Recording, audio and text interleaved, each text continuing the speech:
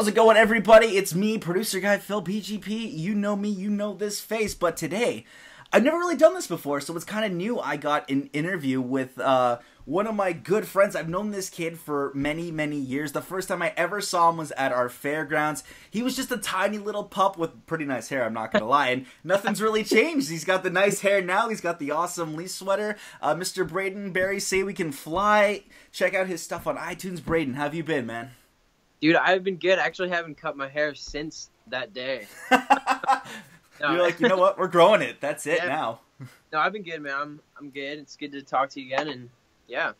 It's Thanks cool, man. I've wanted to do this for a while. Like, I've wanted to catch up with you for a while, but like, uh, I mean, you're you're definitely a busy guy now, and that's really cool to see. But it's pretty awesome now to get this opportunity to actually speak with you, speak with things we both love, and but so you know to break the ice, man. Like, how have you been the last five years? Like, um, what have you been up to? I think a lot of people know, but what have you been up to? Yeah, um, man, I've just been I've just been touring and a lot, and you know, writing and just kind of adventuring all over the place. Um, yeah, man, I've been like in the U.S., UK, Europe, and um, I haven't I haven't played as much in Canada as I would have liked, you know, but I'm hoping to do that this year.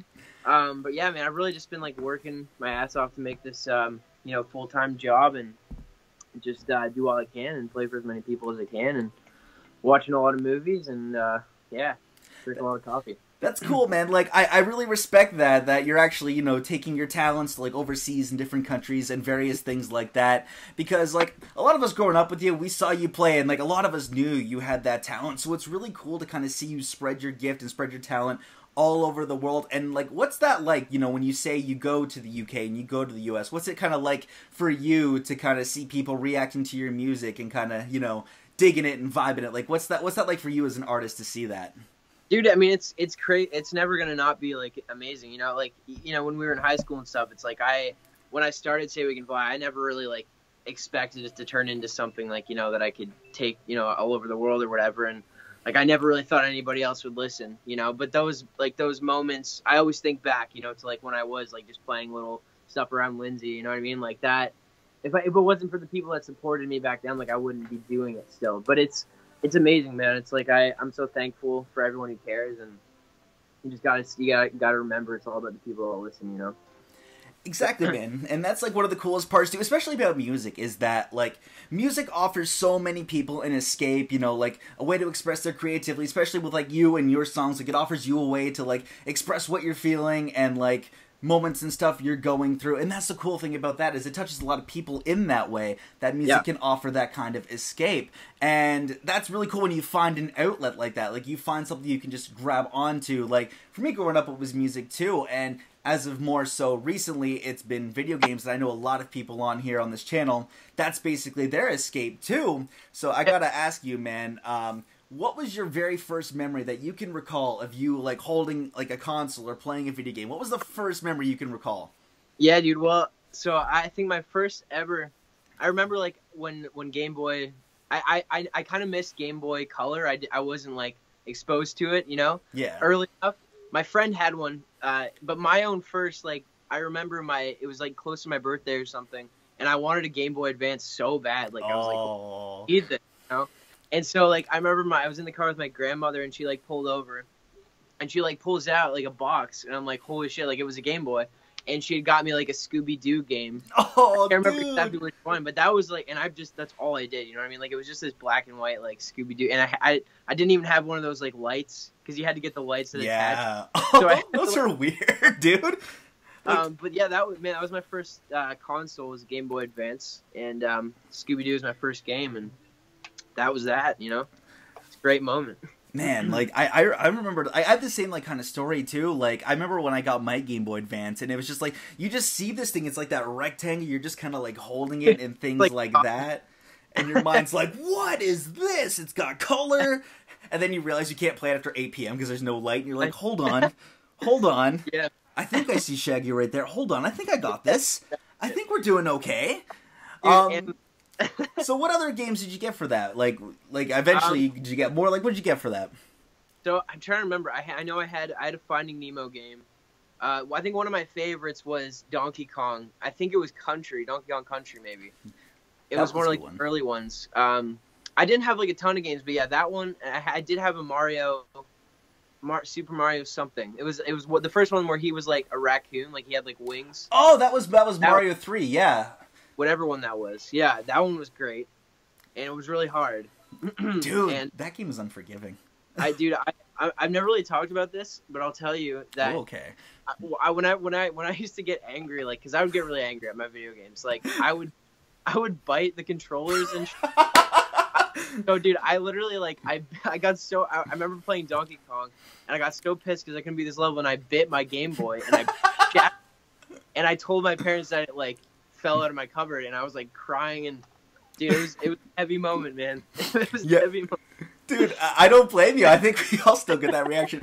I love Yeah. like the two games you picked are like the ones that like are most like sometimes can be rage inducing. Like Donkey Kong Country, man. You get into those like further levels, like in the ice and like the factory, like Oh. it's unforgiving. And then in Mario Three, like once you get to like I'd say World Six, when you have to go like up in the clouds, and then you get to like oh World oh, Seven, yeah. forget it. The pipe maze, forget it, dude.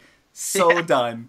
I like Yeah. that you bite the controller. That's that's a new one. I don't think I've ever heard that one before. Dude, yeah, man, it was bad. Like, I, I struggled with that for sure. Or like, if I was playing somebody on like GameCube or something, and I was losing, I would literally just turn it off. Like, if I was a race, I would just turn it off. So, anyway, not yeah, I got over that thankfully, but Oh, well, you know what? Like, power to you, because I still can't get over it. I remember, um, like, when I was living with a couple of friends, uh, we used to play, like, NHL a lot, because obviously huge hockey fans. And it was, like, with the Xbox One, so I'd have my controller. Whenever, like, a stupid goal got scored on me, I wouldn't even look, like, I would just throw the controller behind me, and I'd hear the thunk on the wall, and I had, like, white walls, so I'd pick up my controller afterwards. You'd see, like, stripes on the bottom. And uh, a mutual friend of ours, Hemza, used to did, like differentiate our controllers because he's like, "Yep, that's Phil's. It's got the rage stripes on it." it's got rage. It's got the rage stripes on it because when it would hit the wall, and it Yeah. would like um never like because everyone else was being immaculate. Mine would just have like the white on the bottom. But that's that that's pretty cool. That like I've never heard of that biting the Yeah, controller. It was brutal. so um with a lot of traveling, uh do you uh like get around to playing games on the road? Do you got like a PS Vita? Do you got like a 3DS? Or do you like play like emulators and stuff online? Like what do you like to do now? Like how do you catch up on games now on the road? Um, sorry, man. Uh, yeah, you know what? Honestly, dude, I um, I haven't been able to play as much in the last like three years as I as I wish. You know, I I did get like a Game Boy, uh, that I was playing for a little bit, but I lost it like immediately on tour. Um, Oh. and then Warped Tour 2015, the first year I played, my my girlfriend got me like this Pikachu Game Boy Color, like this Pokemon one. Like I loved it, and I lost that. I left it on the bus. Oh. It's like you know, I try to bring you know consoles, but I just lose them. Um, but we, I did actually like one of the first times in a long time that I got to play because I, I had a GameCube. That was my first like not portable console, Okay. and that's always going to be my favorite. But I left it at a at a motel. Actually, in Lindsay, I left it at a motel, and someone someone took it. So I, I didn't get to play GameCube for a long time. But actually, I was in the I was in Europe last year, and I was in uh, I think it was Paris, France, and I literally played on a boat. Um, and it was really sketchy, but they had a GameCube and they had Mario Kart, and I just we played Mario Kart for like three hours, and it was awesome. Oh, that man. was cool. do you do you have a GameCube or like any Game Boys now? Like, did you ever Mm. like replace them? Dude, actually on my last tour that I did, my my friend Johnny, who was also on the tour for my birthday, got me a GameCube because he knew that someone took mine. Oh, Uh, So yeah, so I have that now, which is amazing. Um, I do have a PS4, uh, which I play sometimes, play like Overwatch and Call of Duty sometimes. But um, yeah, man, I used to play Minecraft a lot too. But yeah, man, I, I have I really want to get back into to games because I haven't. I used to play all the time like on my GameCube, and I haven't really in a while. So I can get back into it. so like, what what were some of your games that you really enjoyed on the GameCube? I know you said uh, Mario Kart. Was there like any Mhm. others that you got crazy into? Like you just devoted a lot of time to? Yeah, dude. So Animal Crossing Oh, was uh yeah, that was like my life, man, for a while. Like literally, that was like uh as like around the time when I started Say We Can Fly too. Like I was playing that every day, and it was like a release, man. Like I like you were saying earlier, it's like I would go home from school or whatever and just play that, and like I could play it all night and like not worry about anything, and I loved it. Um, and then I had Luigi's Mansion, which also was one of my favorite games ever. Uh, I remember, I don't know if you remember this in, in the McDonald's in Lindsay, they had it. Remember they have GameCubes the there? little toy, like the little kiosk. It had like four And you screens. could I only- remember that. you could only play up to like a certain point. So yeah, I had that. Uh, actually, that was the first game I got for GameCube. Was the Um, Luigi's Mansion? It's a good one. Super Mario Sunshine, obviously. You know, that's like a essential. And then a couple Lord of the Rings games. Um, I had the Incredibles, but yeah, man, Animal Crossing, Mario, and Mario Kart. Uh, oh, and Melee, of course. Oh yeah. I was, yeah. So those were kind of my main go-tos. Who was, who was your main character in Melee? Who was like the who was the character you went to when you were playing with friends? Dude, honestly, it was usually D. Or actually, no, it was Pikachu. Nice. Either Pikachu or DK because you do those super cheap like down oh, nobody could get away from them. So yeah, I was usually one of those two. I remember that kiosk uh, pretty vividly because like I remember I got Super Mario Sunshine for Christmas, and then whenever I go up to Lindsay to like uh, hang out with my dad and stuff, when we go to like McDonald's, I always used to get super upset because the kiosk would time you out after like a certain time, and I could like freeze through the tutorial, like get FLUDD, get like the first shine, and then boom, cut off, and I'm like, why? I'm like, why are you doing this to me? Yeah, well, it's good marketing, I guess. It made you want to buy the game. I know. I'm like, man, I just really want 10 nuggets and I just want to play more Mario Sunshine. Like, let's go. Let's Yeah. do this, man. Uh, did you ever end up paying off your house in Animal Crossing? Like, I don't ever think I did. I did, man. I got the um, I got the golden statue. Although I Oh, did, I did. I'm not gonna lie. I did use the cheats a little bit, oh, oh. some bell cheats, but I, I you know what? I did most of it pretty legit. Uh, a lot of it was fishing, man. I would fish a lot and sell the fish and whatever. Oh, Uh, that's good. But yeah, no, I did end up doing that eventually. It was a big moment.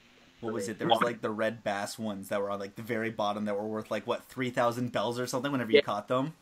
Dude, I you know I remember there was one time because like I almost had all the fish, and uh, that there was one time it was like a certain time of day, like three in the morning or something, and I went down and like the shadow, you know, like there's the shadows of the fish. Yeah. It was like massive, like huge, and uh, like the shadow was massive, and I'd never seen anything like that. It was like a rare one, and then I literally dropped my controller and like moved, and the fish scared the fish away, and I never found it. That was pretty sad. Oh, dude, that is such a bummer, man. Yeah.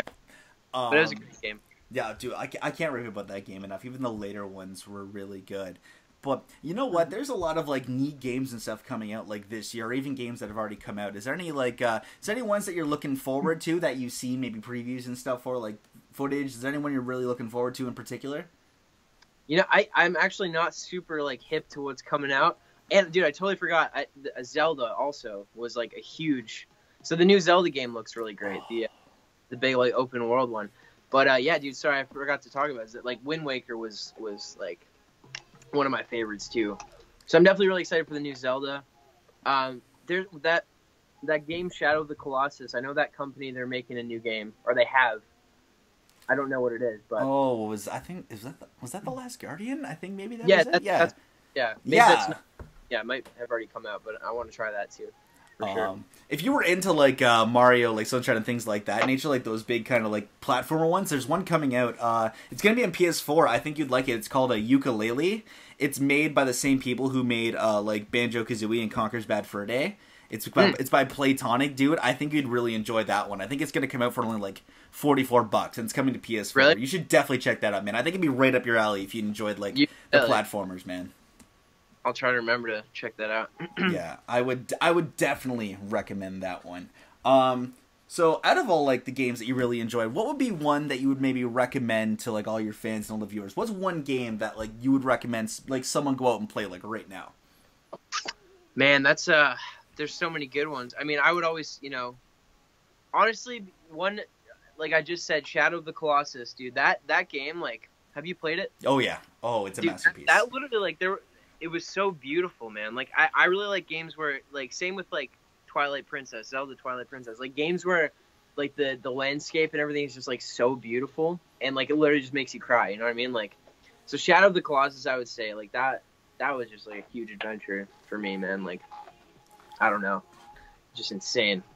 so you're like a fan of the art styles and stuff of games. You ever hear of a game called Okami? I think you'd really like that game. I don't think so. Don't Oh, I've heard of it. dude! Like when we're done, you need to look up Okami and look up that art style because like you play a wolf in that game too, and like the art in Mhm. that, it's like you see that, and then you see Twilight Princess, and you're like, I can kind of see the resemblance here. Yeah, Like it's they're both they're both beautiful games, but and like in completely different art styles, and they're both just mint, dude. That's dope, man. All right, Yeah. so uh the big one here. So this is gonna be a tough one. Are you ready for this? I'm, I think I'm ready. Yeah. Let's uh let's hear your favorite game or games of all time. And I'm gonna limit you to either one or three. So if you can't pick one, you can only pick up to three. Of all time, okay. All time, man. Well, I'm, yeah, I'm gonna try to give some love to a few different consoles here. I think number one is always gonna be probably Mario Kart Double Dash. Nice. Always. Um, it's so tough, man, because most of them are GameCube games. But dude, there's this game called Patapon, also for PSP. Hmm. And it's it was this game where you had to like hit the buttons in a certain sequence, and like there were these little dancing like stick figures. Dude, it was like when I it was a very musical game, and that really like was addicting. I th- I played that on like some of my first tours. So this game called Patapon, which I really loved, and then um, man, I guess I'm gonna I'm gonna have to say Animal Crossing because that was like a huge chunk of my life, my childhood. So I guess that's three, but overall Double Dash for sure. That's a good one, man. Who uh, who were your mains in that one? Because like there was like you could make different combinations, and like depending on the combination, like weight was a big factor. Like if you picked a heavy character Oh. and like a small character, you would automatically be stuck with like a heavy car. So who were your who were your two that you picked? Like who was your main two? All- Baby Mario, Baby Luigi. always. Because Yeah, of the chain chomp. Because like as soon as you get Yeah, in, like chain six chomp. chain chomp, gone. Yeah, man, Gone. exactly. yeah, those are always my main. That was that was a good one, man. I really enjoyed that. But um, thanks for taking the time, man, to answer some questions with me, dude. I really appreciate that. Uh, where can uh, where can all these uh, lovely viewers and fans of yours find you on the social medias and things like that? Um, yeah, everything is just say we can fly on my Facebook, Twitter, Instagram. Uh, my Snapchat is say we can bread because Ooh. someone took say we can fly already. oh, but yeah, man, saywecanfly.net. You'll find all my stuff and yeah, check it out. cool, out. man. Well, thanks so much for the interview, man. All the links to um, say we can fly Braden Barrie's stuff is going to be down below. Definitely check him out. He's a cool cat. Check out his tunes, man. And again, man, just thanks for the time. Thanks for catching up, bud. And of course, everyone subscribe to uh, Arcade Regiment also. Thank you, buddy. Yeah, bro.